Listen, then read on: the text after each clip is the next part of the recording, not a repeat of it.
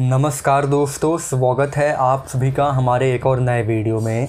दोस्तों, इस वीडियो में हम बात करने वाले हैं आईपीएल 2021 के पहले मुकाबले में आरसीबी टीम की प्लेइंग एलेवन क्या होने वाली है, इसी के बारे में सारी जानकारी आपको डिटेल में देने वाला हूँ। जी हाँ, दोस्तों, बात करेंगे एक एक खिलाड़ियों के बारे में कि कौन से होंगे आरसीबी टीम के ग्यारह खिलाड़ी आई पी के पहले मुकाबले में, जहाँ पर दोस्तों आरसीबी टीम को नौ अप्रैल को आई पी के पहले मुकाबले में मुंबई इंडियंस का सामना करना है। अब ऐसे में इस मैच में आरसीबी टीम क्या प्लेइंग एलेवन उतारने वाली है, मैदान पर यही सारी बातचीत डिटेल में करने वाले हैं। तो भाइयों, अगर आप भी आरसीबी टीम के फ़ैन हो तो इस वीडियो को दिल से एक लाइक कर दीजिएगा। वहीं दोस्तों, हमारे चैनल पर नए हो तो इसे याद से सब्सक्राइब करके बेल आइकन को भी दबा लीजिएगा ताकि रोज़ाना अपडेट्स आप तक ऐसे ही पहुँचती रहे। वहीं दोस्तों, आप सभी के हिसाब से क्या हो सकती है? आरसीबी टीम की प्लेइंग इलेवन पहले मुकाबले में मुंबई इंडियंस के सामने, ये हमें कमेंट्स करके ज़रूर बताइएगा। तो दोस्तों, इससे पहले कि वीडियो को स्टार्ट करें, अगर अभी तक आपने हमारे टेलीग्राम चैनल ओनली आरसीबी को ज्वाइन नहीं किया है तो उसे भी जाकर ज्वाइन कर लीजिए। वहाँ पर दोस्तों, आप सभी को आरसीबी टीम से जुड़ी रोज़ाना अपडेट्स मिलती रहती हैं। इसके अलावा दोस्तों, अगर बाई चांस आर टीम से जुड़े अपडेट्स नहीं भी आती हैं तो आपको वहाँ पर क्रिकेट की इंपॉर्टेंट अपडेट्स जो है मिलती रहेंगी। इसलिए भाइयों, उसे भी जाकर ज्वाइन कर लीजिए। तो दोस्तों, चलिए शुरू करते हैं।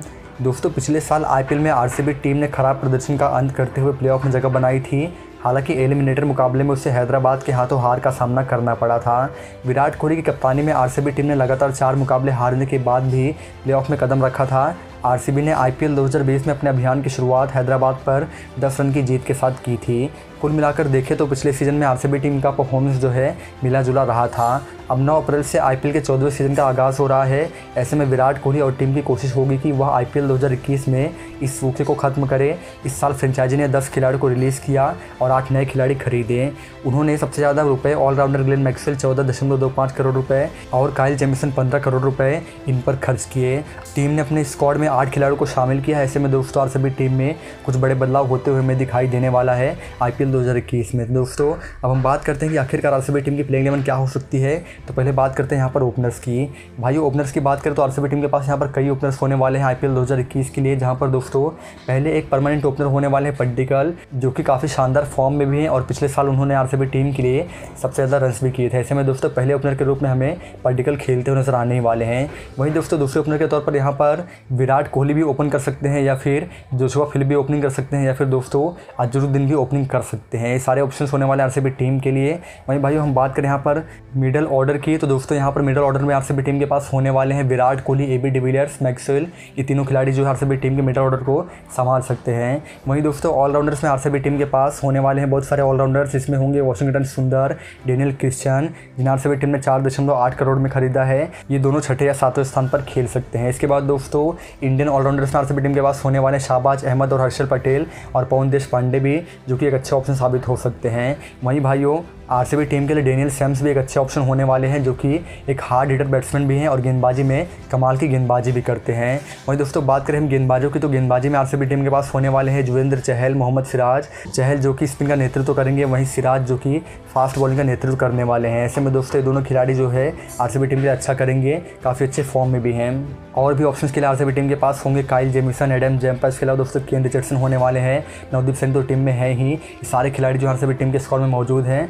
ऐसे में टीम का प्रदर्शन कैसा होता है? आईपीएल 2021 में कौन कौन से खिलाड़ियों को टीम में खेलने का मौका मिलता है? ये सारी चीज़ें देखने वाली बात होने वाली हैं। वहीं दोस्तों, अब हम बात करते हैं कि आखिर हमारे हिसाब से ग्यारह खिलाड़ी कौन से होने वाले हैं पहले मुकाबले में। तो भाइयों, पहले यहाँ पर जो दो ओपनर्स होंगे, वो सकते हैं पड्डिकल और जोशुआ फिलिपे। इसके बाद दोस्तों, तीन पर खेलते हुए दिखाई देंगे विराट कोहली चार पर खेलेंगे ए बी डिविलियर्स पाँच पर खेलते हुए नज़र आएँगे दोस्तों वहाँ पर। ग्लेन मैक्सवेल छः पर खेल सकते हैं डेनियल सैम्स डैन क्रिश्चन या फिर काइल जेमिसन वहीं दोस्तों सात पर खेलते हुए नज़र आएँगे वॉशिंगटन सुंदर इसके बाद आठ पर खेलेंगे मोहम्मद सिराज। इसके बाद दोस्तों नौ पर यहाँ पर शाहबाज अहमद, हर्षल पटेल या फिर पवन देश पांडे को मौका मिल सकता है। वहीं दस नंबर पर नवदीप सैनी खेलते हुए दिखाई देंगे और ग्यारहवें नंबर पर चहल खेलते हुए नज़र आने वाले हैं। तो भाइयों, ये हमारी सबसे आर टीम की प्लेइंग एवन हालाँकि इसमें क्या क्या बदलाव किए जाते हैं और कौन से खिलाड़ी को मौका दिया जाता है कौन से खिलाड़ी को बाहर रखा जाता है। ये सारी चीज़ें हमें जो है मैच के दिन ही पता चलने वाली हैं।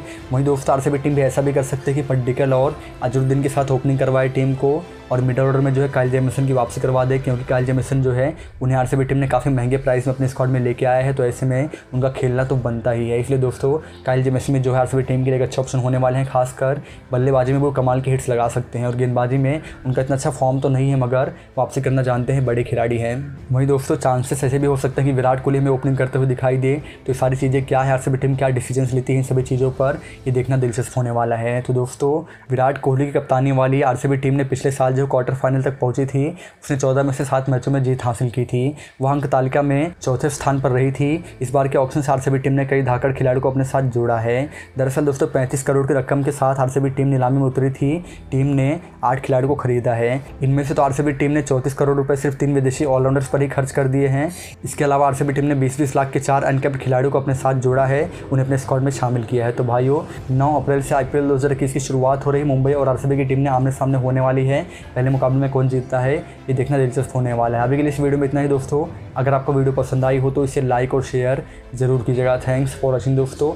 अपना बहुत ख्याल रखिएगा।